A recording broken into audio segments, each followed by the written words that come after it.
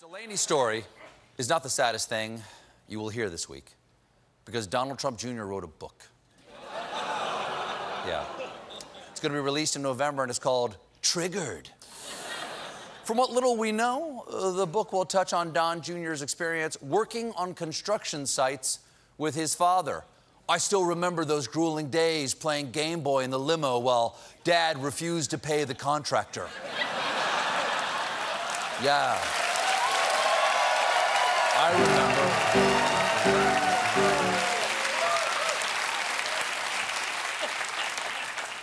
This is true. In the About the Author section, it says Don Jr. is an avid outdoorsman, and when he's not on the campaign trail, he can be found on streams and in the mountains all over the world. yes. Legend says he's in the mountains all over the world. No one's been able to get a photograph so far, just imprints of his feet and bro scat. This fall, we'll be searching for him in the new CBS hit show, Finding Big Douche. But we got a hit. We got a hit. Gotta look for the footprint. But Don Jr. isn't even the most embarrassing person in Trump's orbit. That title goes to Commerce Secretary and man who lives by the phrase, soup before beer, you're in the clear. Wilbur Ross. Ross has led the Commerce Department for more than two years, and in that time, insiders say the agency has reached an apex of dysfunction, which is also the name of Wilbur Ross's latest scream metal album.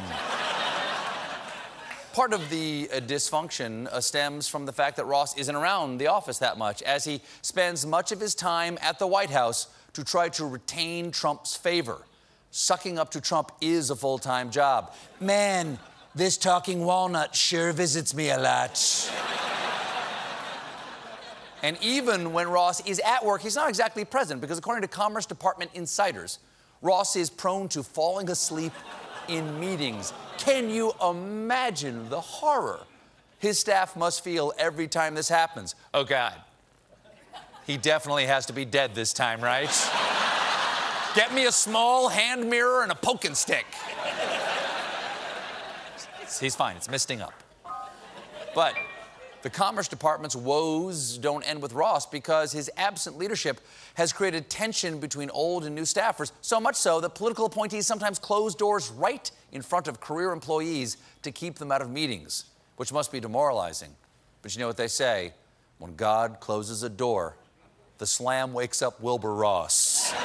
Soup! We got a great show for you tonight.